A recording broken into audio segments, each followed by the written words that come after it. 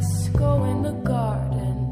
You'll find something waiting right there where you left it, lying upside down. When you finally find it, you'll see how it's faded.